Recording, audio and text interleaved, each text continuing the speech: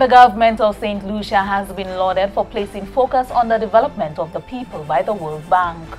A high-level team this week wrapped up talks with Prime Minister the Honorable Philip J. Pierre, the Cabinet of Ministers and staff of the Ministry of Finance.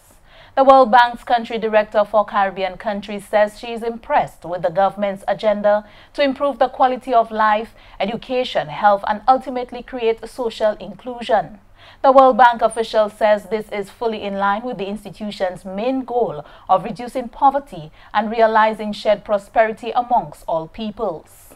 We had very uh, productive meetings uh, with uh, uh the Prime Minister and uh, the Cabinet on how we are going to partner together on implement a, a program uh, that uh, focuses on uh, improving the economic outcomes uh, in the country, on creating opportunities for uh, people and in particular for uh, youth in addressing the main bottlenecks that will um, once removed will allow the country to uh, improve the um, uh, future development, but also how we can work together on further uh, dealing with the COVID uh, pandemic and uh, with uh, helping with the vaccines and improving the overall health system in the country.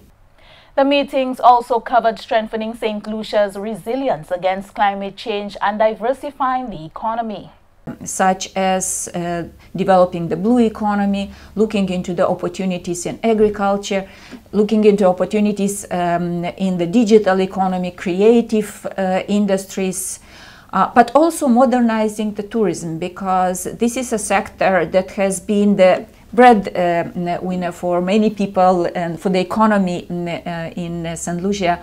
Uh, and uh, this sector can probably be even um, further transformed. First of all, it needs to recover from um, the COVID pandemic, but further transformed to become more modern and attract even uh, more uh, tourists to come and see your beautiful island and to uh, enjoy the beautiful nature, the beautiful food, and um, also the beautiful hospitality of uh, the people of uh, St. Lucia.